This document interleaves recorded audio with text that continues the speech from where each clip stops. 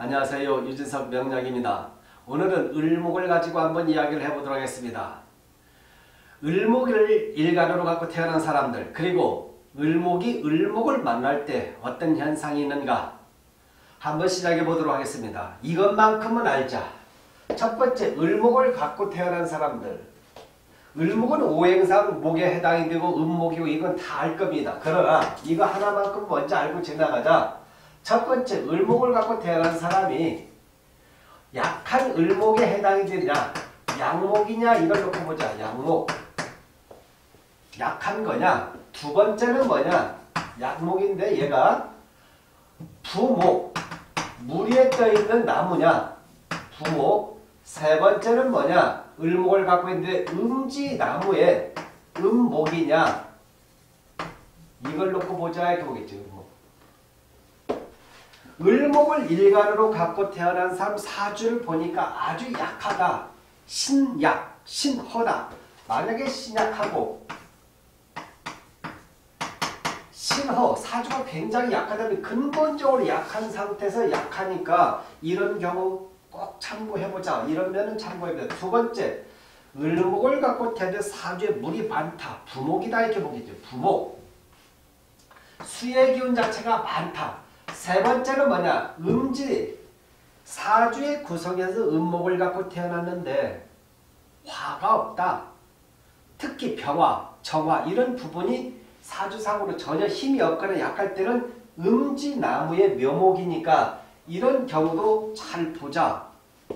자, 화기가 없을 때 어떻게 보느냐 이런 부분은 자 그러면 일단 결국 중요한 것은 을목은 이런 경우 어떤 경우냐? 첫 번째는 음목인 경우는 그늘져 있는 나무다면은 사주를 탁 보는 순간 빛이 없다 그러면 얘는 뭐냐면 결실이 약하다 이렇게 보겠죠 결실.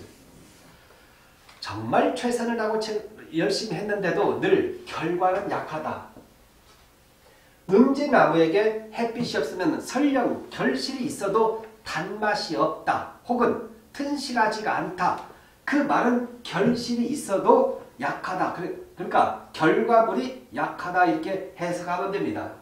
이런 부분을 가지고 사업이나 어떤 부분에 대한 문의를 들을 때 충분히 설명을 할 수가 있습니다. 두 번째는 부목인 경우 이게 부목인 경우는 뭐냐 물에 떠는 경우는 일단은 건강에 대한 부분을 주의하자 이걸 이야기해 줍니다. 건강. 특히 냉한 기운이 많이 있을 때 냉한 기운이 많이 있을 때는 율목은 반드시 뿌리에 상처를 입습니다. 그래서 냉수가 들어올 때 냉한 기운에 물이 들어올 때는 특히 겨울철 대원에서 겨울의 기운이 들어오나 태어난 달이 겨울철일 때 그런 경우 또다시 물이 겹쳐들 때는 건강에 대한 부분을 반드시 주의한다 이걸 얘기했죠. 그 다음에 양목인 경우는 어떠냐? 양목인 경우는 약하다는 거죠. 그러면 이런 경우는 상처를 받기 참 쉽다. 사람이 상처. 마음의 상처를 받거나 그리고 상처를 받고 혼자 혼자 힘들어하는 경우가 많이 있다는 것이죠. 상식적으로 한번 생각해보자.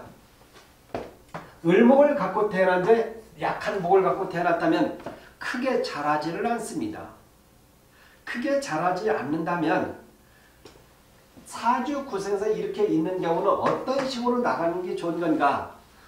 창의성, 예술성, 기술성 이런 어떤 한 방향을 잡아서 그런 쪽으로 특성을 살려서 나가는 것이 좋다.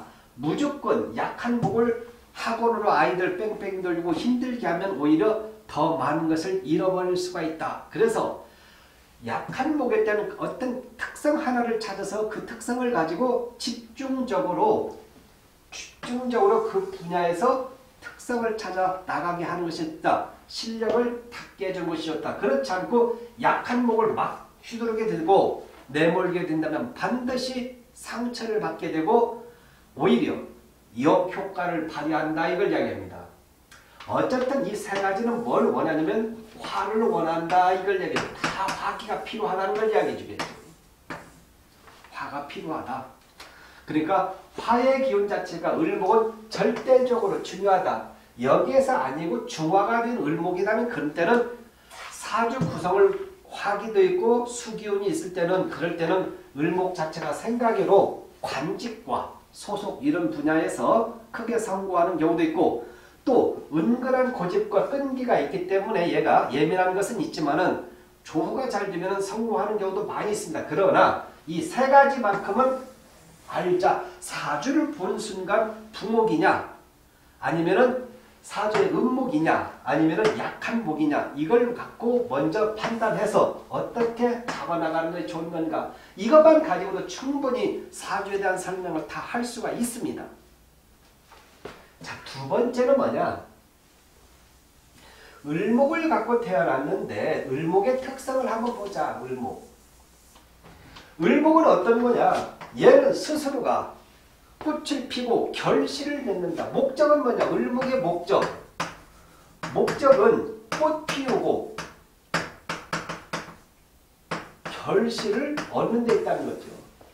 10간 중 10개 가불병정 무기 경신인데 10개 중 얘 하나만 지 스스로 지 스스로 꽃 피고 열매를 맺습니다. 결과물을 얘가 본체에서 자기 본체에서 만들어내는 것이 을목입니다. 자, 목적은 뭐냐? 꽃을 피우고 결실을. 그러니까 얘가 꽃을 피우고 결실을 얻기 위해서는 요구를 하겠죠. 뭘 요구하냐면 화하고 수를 요구할 것이다. 적당한 수분과 화를 원한다는 거죠. 그러니까 지가 노력해서 하는 것이 아니라 줘야 한다 이 말이에요. 줘야 공급해줘야 자기가 꽃 피고 열매를 맺겠다는 것이죠. 지 스스로 취하는 것이 아니라 공급해줘야 한다는 걸 이야기죠. 그러니까 이 을목 자체는 환경이 굉장히 중요하다는 걸 이야기죠. 을목태생은 환경에 의해서 삶 자체 질이 달라진다는 걸 이야기합니다. 첫 번째는 화기를 원하니까 1년 12달 화기를 원하니까 칭찬과 격려가 중요하다. 무조건 칭찬과 격려 투자를 해줘야 거예요. 투자를 해야 돼요. 이건요. 그렇지 않고 화기가 없이 칭찬과 격려 없이 금으로서 금이라는 것은 뭐냐? 닥달하거나 아니면 강하게 내칠 때 얘는 상처를 받게 됩니다. 상처를 받기 때문에 그런 을목 자체에서 화기가 없는 사람이라면 상처를 많이 받고 산 사람이다. 혹은 자기 홀로 고독하게 삶을 살아온 사람이다. 이렇게 이야기를 할 수가 있는 것입니다. 환경에 중요한 반응을 갖고 간다 이걸 이야기합니다. 화가 있어요. 화. 가 자기 스스로가 열매를 맺고 결실을 얻어내지 않습니다. 화는 전부 다 자기가 비추고 희생하고 비춤으로써 열매를 맺게 된다는 걸 이야기죠. 금을요. 토도 뭐냐? 토도 자기가 자리를 제공을 해줍니다. 흙을 제공해서 뭐가 있냐? 목이 자랄 수 있는 토방 기반을 준다는 걸 이야기해 줍니다. 얘도 자체에서 얘도 자체도 결과물을 얻어내지를 못합니다. 목에 자기를 희생해서 목이 자랄 수 있어서 결과물을 얻게 해주고 얘는 금을 비추고 자기가 비추고 희생해서 자라게 해주는 그런 특성을 갖고 있다는 거죠. 그래서 화도 그렇고 토도 그렇고 금도 금도 자기 스스로 열매를 맺지를 못합니다. 열매 걸 지가 따라가죠. 팔자를 휘둘고 따라가겠죠. 그 다음에 수의 기운 자체도 뭐냐? 수도 물 공급, 수분 공급을 해서 뭔가를 키워주게 했죠. 키워줘서 목적물을 키워갖고 나가게 해준다는 걸 이야기해 줍니다. 다시 이야기하면 을목 하나만, 을목 하나만 얘는 자기에게 뭔가를 공급해주고 이 을목은 자기 그 공급을 받으면 지 자체에서 꽃 피고 결실까지 얻어낸다. 그러므로 환경이 굉장히 중요하다. 환경이 어떤 환경이냐 칭찬과 격려와 조건 없는 희생이다 이걸 이야기해 줍니다. 그래서 을목은 고급 백수답니다. 잘못하면 고급 백수고 얕은 을목은 이런 것이 없으면 상처를 많이 받고 산 사람이다 이걸 이야기해 주죠. 그래서 이런 부분을 잘 참고하라. 이것만큼은 알자. 아 을목이 이런 경우 얘는 환경이 굉장히 중요하구나. 특히 아이들, 아기가 태어났을 때 아이, 아이가 태어나서 초중고 다닐 때 을목 자체는 잘못하면은 참으로 힘들고 어렵다. 이 아이 키우면서 참으로 힘들고 어렵게 간다. 이걸 이야기합니다. 그래서 을목을 갖고 있는 사람들 장명에서 무조건 화가 화가 생명입니다. 장명에서.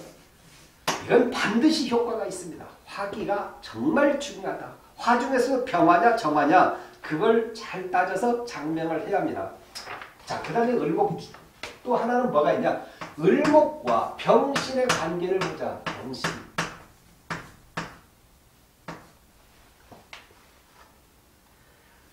을목에 있어 병신은 병신은 병은 부약이요 신은 부약이라는 거죠. 얘는 1년, 1년 12달 좋습니다. 한 여름철도 병화는 좋아요. 수분만 공급 조금만 공급이 되면 수분 기운이 조금만 있으면 을목은 꽃을 피웁니다. 1년 12달 병화를 좋아한다. 근데 신금은 뭐냐? 1년 12달 보편적으로 싫어합니다. 얘는 얘를 상처를 해요. 얘는 칼날이거든요. 칼날이 들어가서 얘를 살짝만 건드면 얘는 얘는 잘라진다는 거죠. 부러지거나 잘라진다는 거죠. 그래서 얘가 옆에 걸 꺼내는 것이죠. 근데 이놈이 병이 병이 있어서 을목에서 병이 착할 피촉인데 신이 들어가고 병신합을 하게 되면 병신합을 하게 되면 얘 을목 자체는 공중에 떠버리는 거죠. 허당이 되는 겁니다. 그러니까 을목에게 있어서 병과 신의 관계를 잘 봐라. 얘네들에 의해서 얘는 을목은 삶 자체의 길흉과 그 다음에 질양, 아, 질, 질 자체가 여기서 판가릅니다. 그러니까 병과 신에 의해서 을목 자체는 병과 신에 의해서 얘가 성공과 성장의 그런 판도를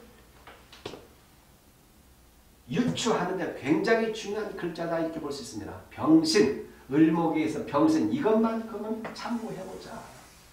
신이 들어왔는데 신이 있는데 옆에서 병이 한이 들어오는 경우 병이 있는데 신이 들어오는 경우 병이 있을 때 신이 들어오는 것은 일단은 멈춰라. 모든 부분에서 주의하라. 이렇게 설명할 수가 있습니다.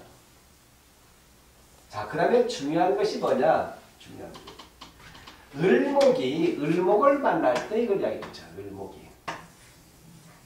을목이 을목을 만날 때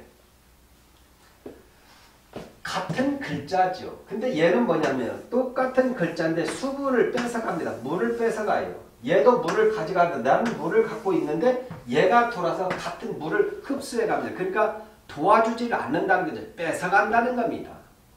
뺏어가는데 문제가 있어요. 그래서 을목에게 있어서 일간 을목에서 을이 들어오는 것은 뺏기고 분산되는 것을 이야기를 합니다. 별로 좋지가 않다. 그러니까 일간 사주에서 을목을 갖고 있을 때 대운에서 얘가 들어올 때 그때는 무조건 동업관계 아니면 어떤 중요한 누구 형제 관계에서 금전거래나 어떤 일을 하게 되면 반드시 손실을 보게 된다 이걸 이야기해 줍니다. 원래 신약사주에서는 같은 글자가 들면 그래도 십시일반 도와주는데 얘는 신약사주에서 큰 도움을 주지 않습니다. 신강사주에서는 더욱더 도움을 주지 않는다 이걸 이야기해 주죠. 자, 그런데 얘가 을목이 을목을 만났을 때 첫 번째 남자는 어떠냐? 남자는 을이 이렇게 들으면 얘들에게 있어서 오행상 금이 남자에게서는 자식과 직업을 상징해 준다. 직업. 여자에게 있어서는 배우자를 이야기해 줘. 배우자. 남편을 이야기해 줘. 남편. 직업을 이야기해 줍니다. 어쨌든 을목에게서 남자는 자식과 직업이고 그런데 얘가 예를 들면 을목이 있는데 일간을 갖고 텐데 을목이 나타남과 동시에 자식과 직업에 대한 부분에서 분리가 겁니다. 갑자기 자식이 내 곁을 떠난다는 거죠. 어딘가를 벗어난다. 얘가 들어오면서 내 곁에서 벗어난다 이걸 이야기해 주겠죠. 자식이 직업에 대한 부분도 얘가 들어오면서 얘가 을목이 들어옴과 동시에 직업에서도 뭐냐 변화가 일어난다 이렇게 설명할 수가 있습니다.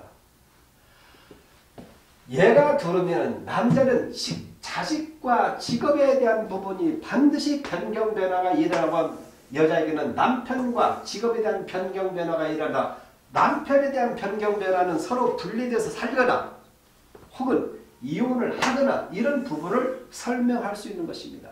그러니까 얘는 을목이 을목이 들어오는 것은 별로 반기지를 않는다. 좋아하지를 않는다. 이때는 형제라도 별로 좋아하지 않는다. 이걸 얘기 줍니다. 그래서 이것만큼은 알자. 을목이 을목이 들어오는 운세에서는 그런 경우는 별로 도움되는 일이 없구나. 남자는 직장과 자식 문제에서 내 곁을 벗어나는 것이고 직장에 대한 부분 그 다음에 여자도 남편과 직장 부분에서는 얘가 두름과 동생 내가 취하고자 했던 것이 얘가 들어와서 취해서 가버리니까 얘는 이놈하고 연애질을 하니까 내 것이 없어졌다. 그 말은 결국 뭐냐? 좋지가 않다. 이한 놈이 나타남과 동시에 이것만큼은 참고해서 보시기 바랍니다. 을목이 을목을 만나는 것, 아, 별 볼 일 없구나. 지난 시간에 갑갑이 나올 때, 갑갑을 연결하면 갑갑하다 그랬습니다. 갑갑하다, 답답하다. 얘 답답하죠? 얘는 뭐냐? 을과 을이 만나는 것, 얘는 별로 좋지가 않다. 분산, 찢어진다, 나뉘어진다. 내 것을 빼앗긴다는 것을 이야기하기 때문에 이런 부분을 한번 참고해서 여러분들 보시기 바랍니다. 감사합니다.